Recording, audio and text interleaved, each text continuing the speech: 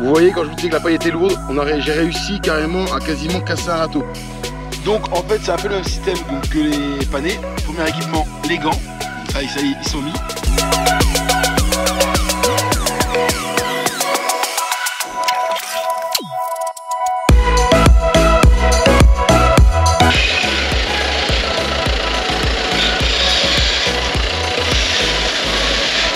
Bien, salut tout le monde, donc nouvelle vidéo, épisode 3 sur la récolte, on continue toujours la récolte. Euh, il y a deux semaines, je vous ai fait le poireau, la semaine dernière, je vous ai fait les panais et les navets.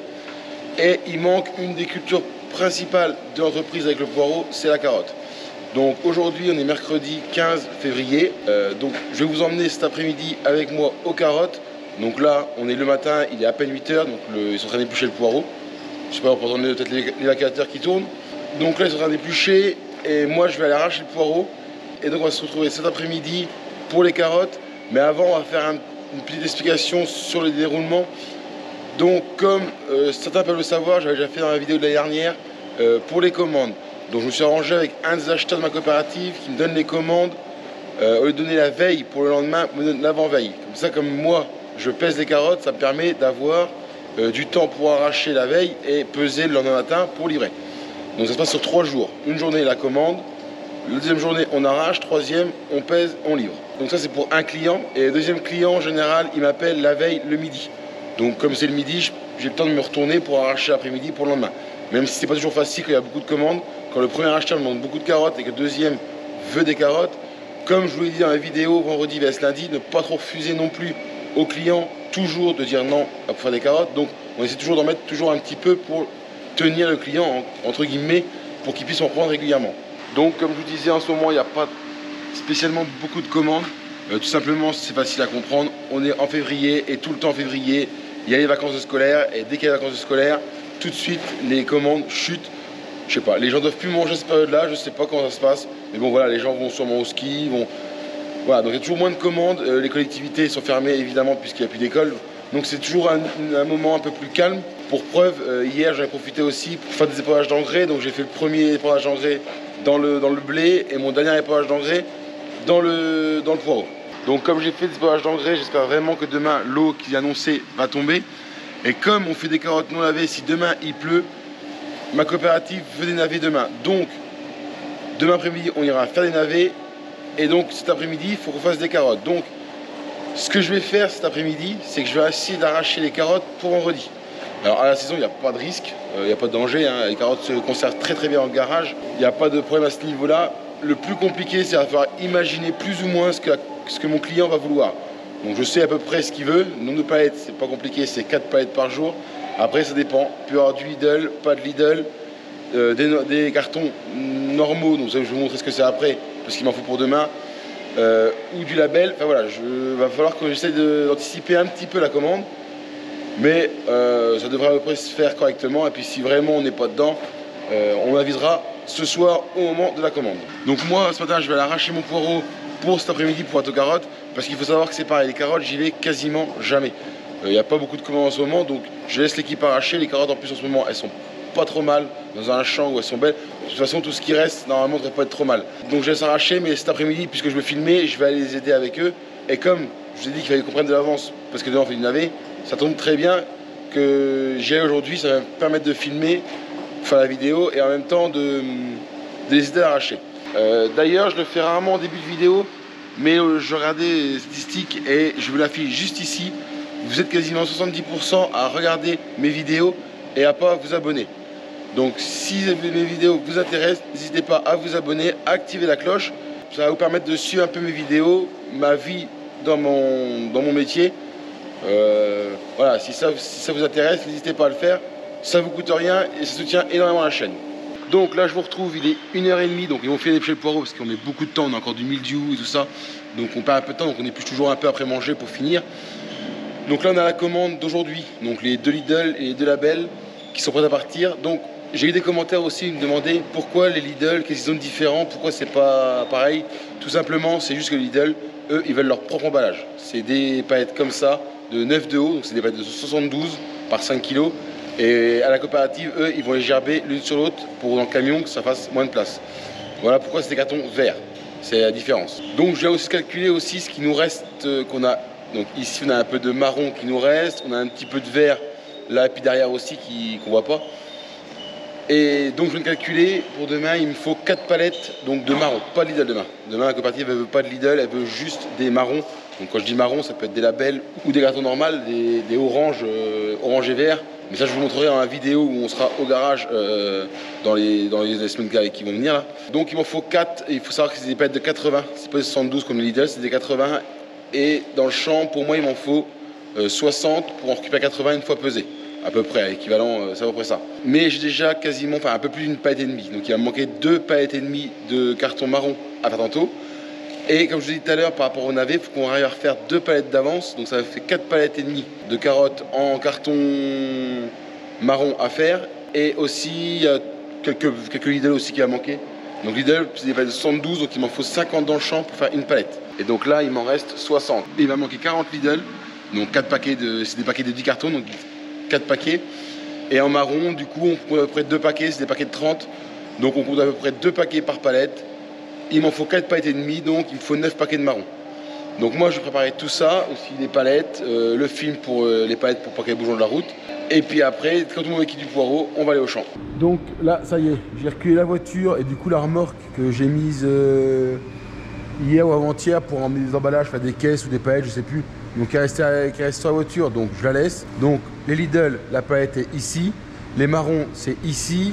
Et les palettes, c'est la pile qui est ici. Non pas la rouge, mais la blanche. Donc j'ai plus qu'à mettre tout ce qu'il faut dans la remorque. Et après, ils seront prêts à aller au champ, sachant que les carottes sont déjà prêtes d'hier. Euh, J'arrive à Valentin, ils ont découvert, ils ont même soulevé. Donc Valentin et moi à la course de partir vite vite pour soulever les carottes, c'est déjà fait. Mais bon, normalement, si tout va l'après-midi, falloir qu'on redécouvre une planche, tout ça, donc euh, on pourra faire des. Je pourrais vous montrer tout le processus des carottes, même si vous connaissez déjà découvrir, soulever, vous l'avez déjà vu dans les vidéos, donc, euh, vous connaissez plus ou moins. Et si vous ne connaissez pas, bah, je vous invite à aller voir mes anciennes vidéos euh, sur les différentes récoltes, l'année dernière ou même celle de la semaine dernière ou la semaine d'avant. Euh, ça vous coûte rien et ça vous permet de voir mon métier.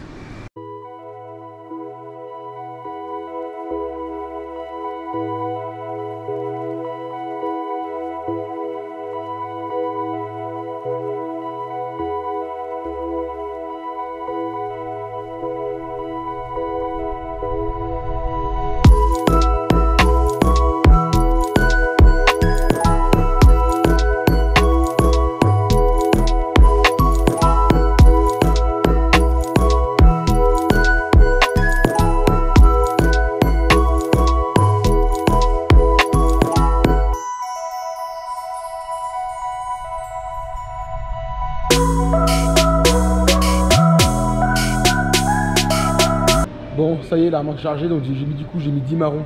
Parce que je vous dis c'est 60 par palette et un paquet maintenant c'est plus 30, c'est 28. Donc 9 x 18, donc un paquet de plus, il y aura 10 cartons de plus que prévu.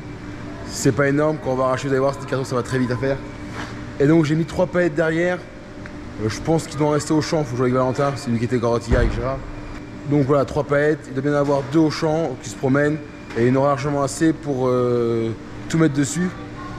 Donc maintenant, ben, il n'y a plus qu'à attendre qu'ils finissent le poireau. Enfin, je ne vais pas attendre, hein, je vais faire autre chose. Et dès qu'ils sont quittes, on part aux carottes.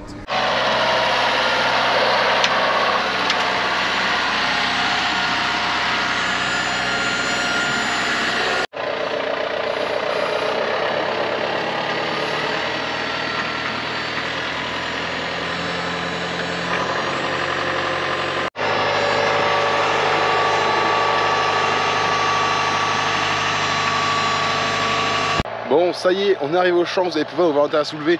Donc ça fait déjà un petit moment qu'on a commencé, il y a une heure. J'ai pas encore filmé. Euh, tout simplement, c'est que contrairement à quand je découvre les carottes, euh, dans une vidéo il y a un mois peut-être, on découvrait deux planches et là aujourd'hui on fait une par une. En fait, j'ai deux soucis. Alors il n'y en a plus qu'un, mais bon, bah, c'est celui-là qui empêche tout le reste. À la base, on a eu beaucoup d'eau euh, au mois de janvier, décembre, janvier. La paille s'est gorgée d'humidité et elle était très lourde à pousser. Donc du coup, ce qu'on a fait, c'est qu'on les fait une par une pour que ce soit beaucoup moins lourd en paille. Parce qu'évidemment, il y a moitié moins de paille à bouger à chaque fois. Donc qui dit faire une planche à la fois, évidemment, c'est beaucoup plus de sport aussi pour celui qui découvre et celui qui charge. Parce qu'il faut suivre. Quand les filles sont arrivées au bout, il faut qu'il y ait une autre planche de prête à chaque fois, systématiquement. Vous voyez, quand je vous disais que la paille était lourde, j'ai réussi carrément à quasiment casser un râteau. Donc je vais le faire réparer, mais je veux d'abord finir le champ qui est euh, quasiment fini. Et on a deux râteaux de cassé, on a aussi celui qui est derrière là-bas, je pense rien à voir. Donc c'est pour ça qu'on fait une par une. Donc là on a un petit champ qui n'est pas très large. Hein. C'est un tout petit champ, elles sont plutôt belles. Franchement elles sont pas trop épaisses, mais une belle carotte au pied, donc euh, ça suffit amplement. Comme quoi ça sert à rien de mettre plus épais. Au final, euh, ça fait du bon boulot. Donc je vous ai dit, premier phénomène, la paille qui est très lourde. Donc euh, on fait une par une. Et là je vais vous montrer le deuxième souci. Et que celui-là, c'est rien à voir avec l'humidité. Mais euh, quoi qu'il arrive, on sera embêté. Dans la paille d'orge que j'ai fait dernière, euh, on avait je pense beaucoup, on avait beaucoup de petits grains dans mon orge. Résultat, la, la moissonneuse n'a pas tout ramassé. Et derrière, eh ben, on peut voir qu'il y a pas mal de repousses. Et évidemment, tout ça, ça s'est enraciné dans le sable. Et pour que le ratophane puisse enlever la paille, c'est très compliqué. Donc on en laisse beaucoup sur la planche beaucoup de racines et pour aller en dessous, on perd énormément de temps. Et ça, malheureusement, euh, cette année, il me reste que des carottes euh, avec ma paille, donc évidemment des repousses. Donc maintenant, on va pouvoir aller arracher, euh, charger, et puis c'est déjà pas mal. Donc ça y est, vous avez pu voir Valentin, il passe la souleveuse. Donc il faut savoir que l'idée la souleveuse, c'est notre meilleur allié. On s'en sert quasiment pour tout, sauf le poireau évidemment, et une allée que vous avez vu. Mais sinon, on sert pour tout le reste. Donc une fois qu'on a passé la souleveuse, on va pouvoir arracher. Et nous on va commencer donc par les Lidl pendant que les ouvriers eux sont à côté en train de faire les cartons, euh, donc labels, les marrons. Donc pour commencer, il faut savoir que les Lidl c'est un peu plus chiant à monter parce que euh, je vais vous montrer, il faut monter les quarts. Euh, bah, chaque il faut la, faut la monter pour que le carton tienne debout. Donc on prend le carton, on l'ouvre, mais contrairement à un marron, le marron on l'ouvre comme ça c'est fini. Sauf que Lidl, vous voyez, il tient pas. Donc faut chaque quart, ici vous voyez, faut les enfoncer. Donc euh, quand on fait quelques cartons ça va, quand on en fait beaucoup, c'est le bordel. Alors après moi je l'ai fait deux par deux, ça va quand même beaucoup plus vite. Et donc une fois qu'on a monté donc, le paquet, donc les 10 cartons sont là, sont montés. Et donc une fois qu'on a commencé, une fois qu'on a monté les cartons, on va arracher les carottes. Je vais vous montrer. Donc en fait c'est un peu le même système que les panais. Premier équipement, les gants. Donc ça, ils sont mis. Et donc après on va arracher les carottes. Donc entre guillemets, une par une. On va penser à bien équeuter la, feuille. Faut pas qu'on laisse la feuille qui reste. Et après, bah, on arrache donc les carottes qui sont les unes à côté des autres quand tout se passe bien. Et dans l'ensemble, vous voyez, elles sont quand même pas mal. Et il faut savoir que juste derrière moi, si je tourne un peu la caméra, juste derrière moi là, on est au pied du, talus. Donc normalement c'est un peu moins belle et pourtant vous voyez quand même que les carottes sont quand même pas mal. Et très important aussi quand on arrache les carottes, on essaie de mettre les cartons deux par deux. Comme ça quand on charge derrière, ça nous évite d'avoir à le faire et on prend juste les paquets de deux qu'on met sur la paillette que vous allez voir juste après.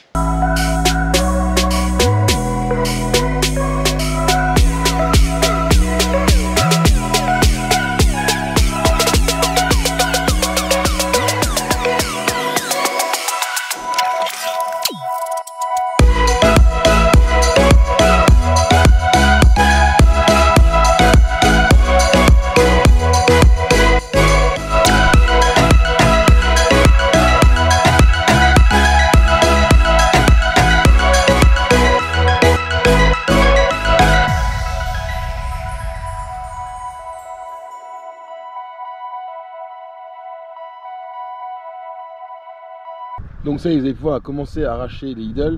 Donc là, on a fait 10 premiers, donc le premier paquet. Euh, et donc du coup, je vais vous montrer le résultat une fois récolté. On est sur des carottes qui sont comme ça. Donc euh, bah, c'est pas si mal. Hein. Si je vous mets ma main à côté, par exemple, si je mets mon gant, on voit quand même que les carottes euh, sont, pas vilaines. Il n'y a, pas, a pas de grosses, il n'y a pas de petites. Donc ça fait quand même ce qu'on appelle un lit régulier. Donc c'est des carottes qui vont bien plaire aux clients. Et une fois qu'on a arraché, évidemment, c'est comme toute culture, on a forcément du déchet. Donc j'en ai quelques-unes ici pour vous les montrer. Donc évidemment, les toutes petites, on les balance. Là, vous voyez la différence. Si je vous mets en carton, voilà. Donc ça, on les jette. Il y a aussi donc celle-là parce qu'elle a été verrée. Donc quand je l'ai arrachée, je l'ai cassée. Mais c'est très rare. Hein. Les verrées, euh, vraiment, c'est très rare. Donc une cassée, pareil que j'ai cassée en la prenant. les, une jaune qui était dans le milieu, qui est, qui, est arrivée là. Et puis voilà, sinon vous voyez si j'arrache comme ça, en vue comme ça, voilà il y a un peu plus grosse. Et dans l'ensemble, vous voyez côte à côte, on est quand même sur des carottes. Là il y a une petite qui est là. Mais dans l'ensemble, on se retrouve. Euh, voilà, une cassée. Ça, c'est une cassée qui a été cassée ce matin quand j'ai découvert les carottes. Donc, ça, ça arrive. Hein. Et puis, dans l'ensemble, vous voyez, voilà, je vais pas faire toute l'après-midi comme ça, mais vous pouvez voir que tout ce que j'arrache, voilà. Donc, on a en plus très peu de déchets. Donc, euh, on va avoir un bon rendement et surtout une coopérative où ça va des carottes qui vont plaire. Donc, tout le monde va être content dans l'histoire. Donc, maintenant, nous, on va arracher et on se retrouve juste après pour mettre tout sur les palettes.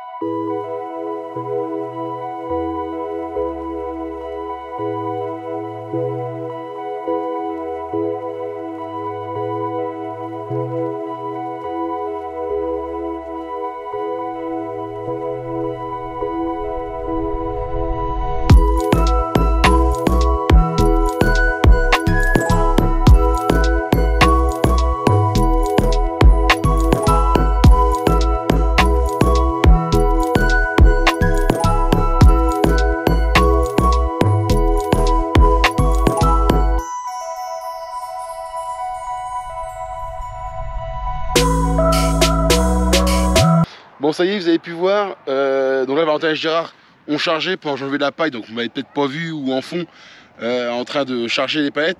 Donc du coup on a fait 4 palettes de marron donc de 70 ce qui fait 280 donc ça fait 28 x 10 donc les 10 paquets de marron sont faits et les 40 Lidl qui sont juste derrière moi si on les voit avec le soleil juste derrière moi là. Donc là il se trouve euh, je sais même pas quelle heure. Donc là il est 5h20 on est quitte. On n'a plus qu'à aller au garage s'occuper de la laverie tout ça. Enfin c'est pour moi c'est Sylvia et Noémie et Kian qui vont le faire et là, Valentin, il arrive pour mettre les palettes sur la remorque. Je vous filme ça. Et puis après, on n'a plus qu'à rentrer au garage.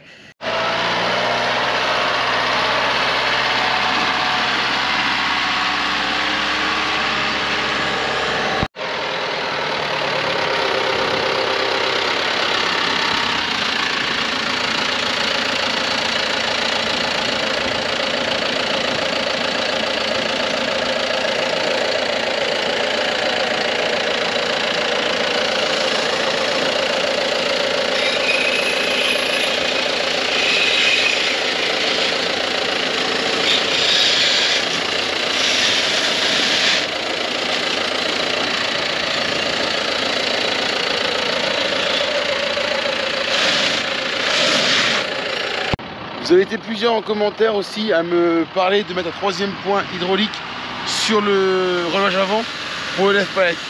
Et je devais le faire, c'était prévu que je le fasse, mais je vais vous montrer qu'une fois que j'avais installé, j'ai trouvé euh, la chose inutile d'en mettre un. Tout simplement, c'est qu'avec le, troisième point de base, ça, ça fait ce travail super. Donc là, en fait, Valentin, il baisse le relevage euh, du de relevage complet. Et une fois qu'il est baissé, les palmes sont droites. Donc ça permet de rentrer les palettes correctement. Et dès qu'il va relever son relevage, regardez, ça va pencher la palette. Vous voyez, dès qu'il lève, ça, penche la palette d'un tracteur. Donc en fait, ça permet de maintenir, quand les palettes sont un peu sur tracteur, ça permet de la maintenir un peu pour qu'elle bouge quand même beaucoup moins que si elle était droite. Donc au final, je me rends compte que le troisième point hydraulique pour le, le mât de Fenwick, sert totalement, enfin pour moi, sert à rien. Parce que là, comme il est là, il est, il est bien mis, on a nos réglages comme il est là. Si on commence à être à la troisième point hydraulique, on va tout le temps rien de jouer avec, c'est pas droit, on n'est pas droit, on est droit, on n'est pas droit. Là on sait, on baisse, on met nos palmes au sol et on sait qu'on est dans la palette. Donc ça y est, les, carottes sont sur la remorque, donc là c'est fini. Donc maintenant Gérard et Valentin rentrent au garage. Donc sur la récolte de la carotte, maintenant, c'est fait, vous savez comment ça marche. Encore une fois, on n'est pas mécanisé, tout est quasiment manuel, tout est récolté à la main. Tout ça pour faire une plus-value vis-à-vis de, l'arrachage mécanique. J'espère que cette vidéo-là vous aura plu. N'hésitez pas encore une fois à vous abonner, à mettre un maximum de pouces et à activer la cloche de notification pour la suite euh, de nos aventures euh, dans notre métier. Et puis moi, je vous dis à très bientôt dans la suite de la récolte. Allez, ciao